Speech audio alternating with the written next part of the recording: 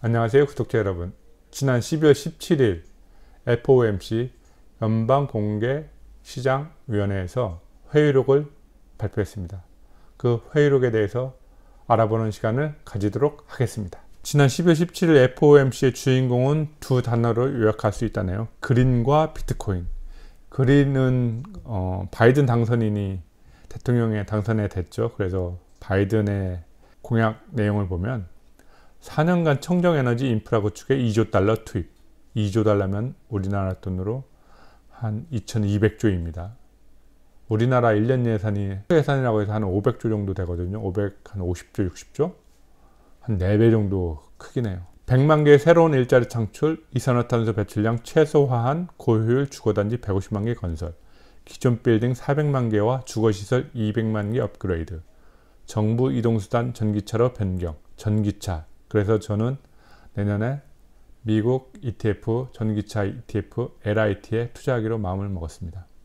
자동차 업계 친환경 자동차 생산 인센티브 제공, 주택 소유자의 친환경 가구 도입 지원, 자친환경 차로 변경 시 인센티브 제공, 2035년까지 전력 분야의 이산화탄소 매출량 제로 달성, 태양광 패널 및 풍력 발전용 터빈 각각 500만 개, 6만 개 설치. 그러니까 내년에는 두 번째는 2017년 사상 최고가를 찍었던 비트코인이 3년 후 2020년 현재 사상 최고치를 계속 깨고 있죠.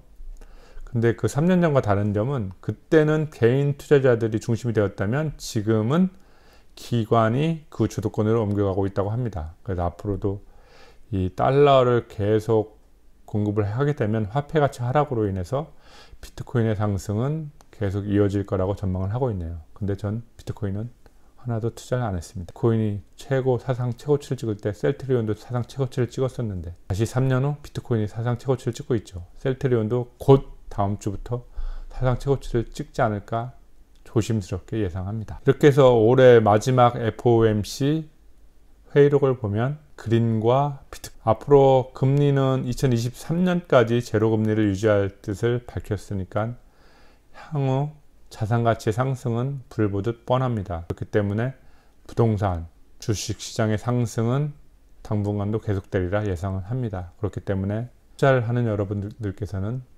소유권, 부동산, 주식의 소유권을 꼭 가지고 있어서 이번 자산 인플레에 동참해서 본인의 자산을 증대하는 기회로 삼으시길 간곡히 부탁드립니다. 오늘의 영상은 여기까지. 좋은 일요일 보내세요. 안녕.